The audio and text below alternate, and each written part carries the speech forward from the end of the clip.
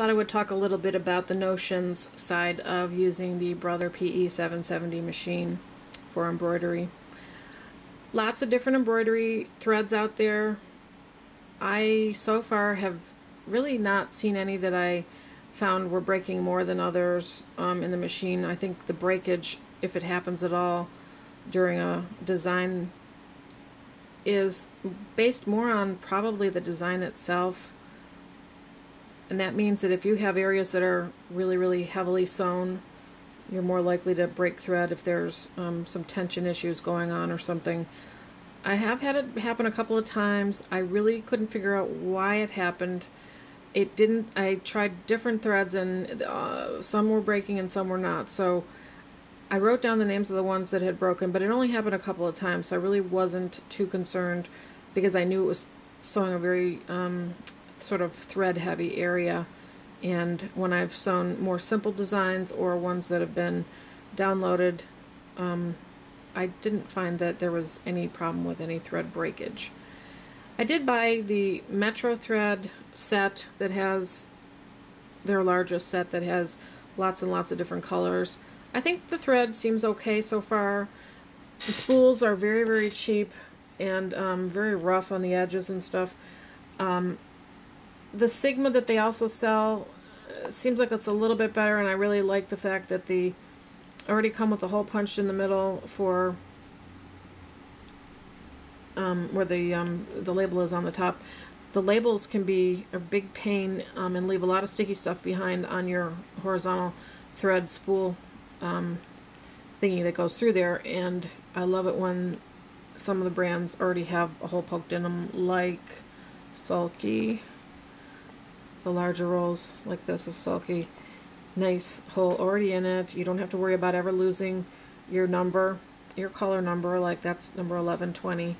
And it's exceedingly important, no matter what, that if you lose the stickers on the top ends of your roll of thread, that you, well, first of all, that you don't lose them, but if you think that you're going to lose them or you have to cut them off or cut them partially off and they might come off later, make sure that you just take a marker and write on the edge of your spool what the color number is because once you separate that um, those two things um, you're going to be lost without knowing what color it is that you have um, unless you're just using a couple of basic colors. When you have a lot of thread you really need to make sure that you record what the color number is on here if you think there's a possibility that this tag might come off. Now some of the manufacturers are very smart and they just print it right on they just put the color information and everything right on the spool itself. So Gutermann and Sulky, these these smaller reels of it, there's color 1057 is right written right on there. So even if this comes off,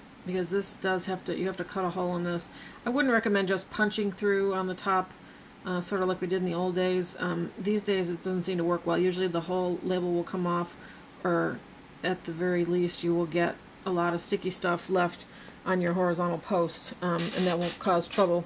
When reels of thread try to turn it'll start um, holding it back. So I had to even use some sticky remover to get all that stuff off of mine. So uh, I find that the just like the regular coats that you buy at the local stores that is bad. And um, I, again I don't punch it through. I just take my little I have a little pointed embroidery scissors here that I just take and I just cut cut it out, you know, four cuts, pull it up by hand, and then do what I can to salvage the label at least. Now, regular thread that's just on a spool, like as we all think of it, like this, and like this, and even like this, those are fine to put up in on the normal position on the sewing machine. However, the cones here are really not meant to go up there. The cones are meant to stand up. So the cones obviously hold more threads. If you're doing a lot of embroidery or you get a good deal, like the Sigma and the Metro threads are very inexpensive. Um, those, uh, a thousand meters this one is, and so they're going to last a long time, but they also are going to not be able to be used like this. Now, actually the Sigma, for some reason, I was able to use up here. The Metro, however, do not ever try to do that because it won't work. These plastic edges here are so rough that the thread just gets caught up and it stops and it's kind of a disaster. So what I've decided um, to do is to go with a method that I read about online. Very simple. You can get a thread stand if you want, or if you already have one, you can use the thread stand so it just sits flat horizontally or vertically. Um, but what I do is I just took um, I just took a little cup here. Someone mentioned this online. It was a simple way to do it and much cheaper than buying a, a stand. Just drop it in, and it really feeds it very nicely off of this. You really don't need anything more than that. The only other trick is to get a good path so that as the thread, excuse me, so as the thread um, comes up and over, uh, you're not going to get caught up on anything. So the path that I found on this, I just keep the cup on the right hand side, kind of to the right of this vent here. I just go up and over right behind these two bobbin winding posts. So I just put it behind there basically, behind the metal of this and just underneath here. And then I just bring it over and I just thread the machine the normal way I would. So really, it's still in a very similar horizontal path as if it were laying here. It doesn't seem to get caught up on anything here. Feeds very nicely and uh, feeds right off the top and um, I solved the problem completely. So um, if you have any of the stand-up type um, spools, the best thing to do if you want to keep it simple, just put it in a cup over there and thread it the normal way if you get a lot of thread, you're going to need a place to keep it. And I found that the um, over at Amazon they do sell. Uh, a lot of people complain about the quality, and it's true the quality is not great because it's it's basically a little wooden stand with um, little pegs sticking out of it, and um, you can't really use it with the stand because it is very rickety and it would just fall over. So anyway, I just unscrewed the the legs of the stand and then I mounted them on the wall. I have three of them here across and you know you can organize it however you want. I have it organized um, just for my own sort of the way I look at things in similar shades together.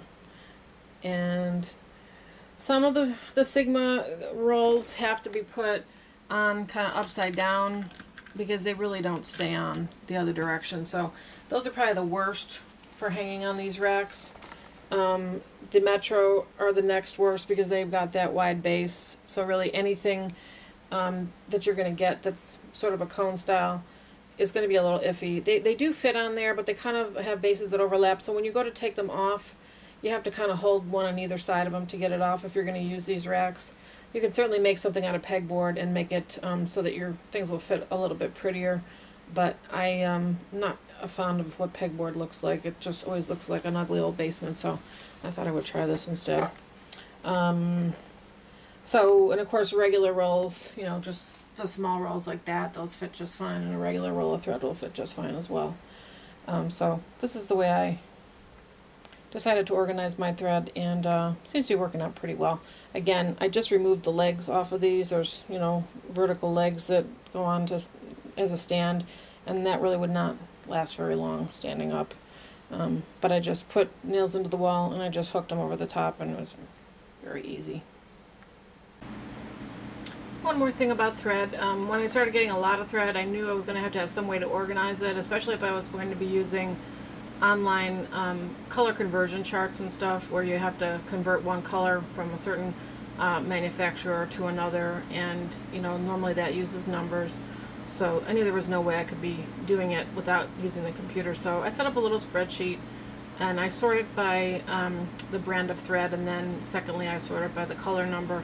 So basically I can search for anything that I need in this or I can resort it so that it's sorted just by color number and it really helps me to keep track. So like column A I have the brand, column B I have the color number, column C I have the color name um, and any notes like if, if the color name doesn't really describe what the color actually looks like I would put it parentheses and just say what I thought that it looked like.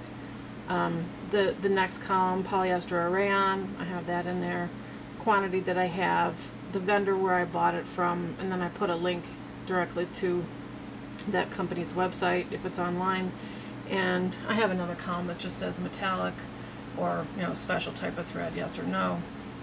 And pretty much that's it. So um, I have uh, quite a bit of the Madeira because I bought a set that had a lot of different colors from Madeira and I have a lot from Metro because I also bought a set from there.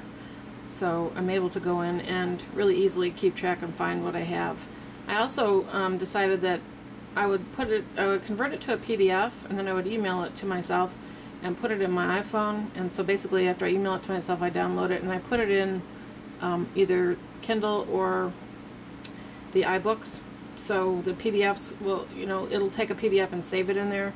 So basically, you can, I, when I, if I'm out somewhere shopping and I see a thread that I want, but I don't know if I have that color, um, I can just open up my phone, open up that PDF, and then search through this whole list. And I just try to keep it up to date if I make any changes and add any new threads to it. So it's one more thing you might think about trying to keep track of your thread is um, using an Excel spreadsheet, a very simple one, just uh, to be able to list everything that you have. Okay, I hope that might be of help for you. Take care.